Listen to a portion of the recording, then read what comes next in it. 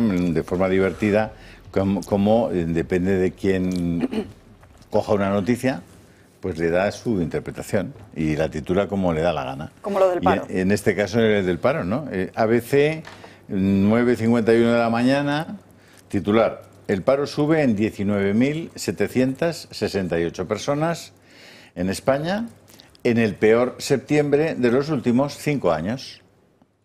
El ABC, ¿vale? Bien. La SER, a la misma hora. El empleo resiste en septiembre y se crean 18.000 puestos de trabajo gracias a la vuelta al cole. ¿Qué os parece? Uno de los dos miente, ¿no? Pues ese es el